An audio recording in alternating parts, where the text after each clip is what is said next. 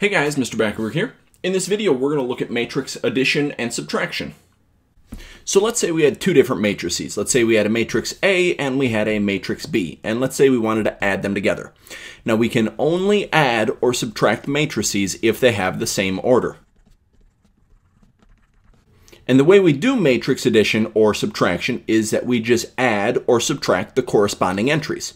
So let me give these matrices some entries. Let's say matrix A has the entries 2, 7, negative 4, and 3. And we're going to add on matrix B, and it has to be the same order. So let's say that it's negative 1, 5, 9, and 0. So we're adding these two together, and we're going to be getting a new matrix as our answer. And because we're adding, we're just going to add up the corresponding entries. So 2 plus negative 1 would give me 1. 7 plus 5 would give me 12. Negative 4 plus 9 would give me 5, and 3 plus 0 would give me 3. So we get a new matrix of the same order as our original two matrices with entries 1, 12, 5, and 3. So in this example, we're going to add these two matrices together. And the first thing we want to check is that they have the same order. So this first one has three rows and two columns. This second one has three rows and two columns. So yes, they have the same order. So then, since we're adding, we're just going to add up the individual entries.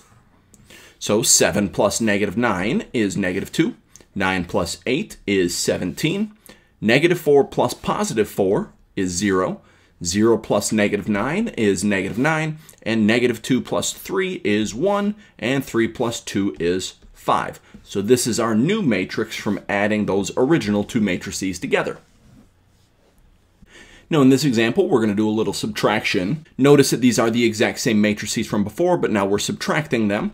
We do have to be a little extra careful when we're subtracting. Subtraction always seems to get a little trickier for some people, so let's just make sure that we slow down and take our time as we're going through this. So we already know that we can do this subtraction because we checked the orders previously when we were adding them. So we're just going to do the subtraction. So 7 minus negative 9, double negative turns positive. So this is going to be 16. 9 minus 8 is 1. Negative 4 minus 4 is going to be negative 8. 0 minus negative 9 is going to be positive 9. Negative 2 minus 3 is going to be negative 5. And 3 minus 2 is going to be 1. So this is our new matrix from subtracting those two original matrices. That's going to be it for this video. Thanks for watching.